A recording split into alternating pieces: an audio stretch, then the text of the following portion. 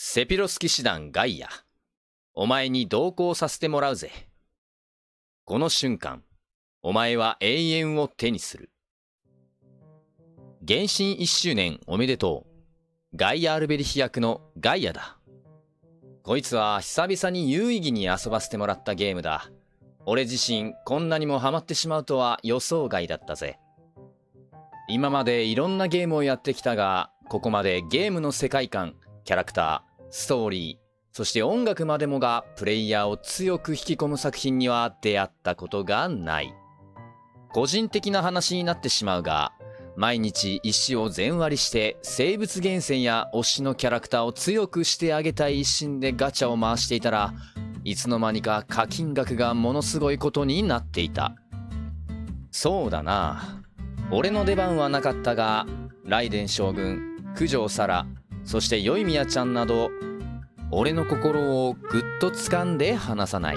魅力的なキャラクターたちが躍動している姿を見ていると俺の出番がないことに対しての不満なんてちっぽけな存在だということに気づかされたぜ。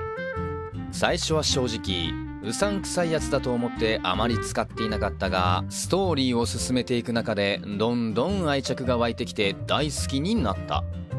今ではレベルも90まで上げて命の星座も貫突。秘境や螺旋でも大活躍だ。俺だ。ガイアだ。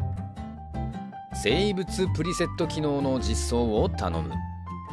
俺自身最近やっと全キャラクターに生物や武器をある程度用意してあげることができたが基本的にはキャラクター間で使い回しているプレイヤーが多いはずだ。この機能が実装されればもっと快適にゲームを楽しめると思う。そうだな。ソロでもマルチでも楽しめるスタミナを消費せずに遊べるローグライク形式のイベントが欲しい。これに関しては自分の育成したキャラクターや装備を使うのではなくあらかじめコンテンツで用意されたものを使用する形のものが実装されればライト層ヘビー層を問わずに楽しめるいいイベントになるんじゃないか？ガイアはもっと強くなる。この先原神が2周年3周年と時を積み重ねていくにつれて新たな仲間たちや強大な敵たちがたくさん現れるだろう。だが信じてくれ旅人。このガイア・アルベリヒ絶対にお前たちの期待を裏切らないぜ。改めてガイア・アルベリヒ役のガイアがお送りしたぜ。原神1周年本当におめでとう。これからもよろしく頼む。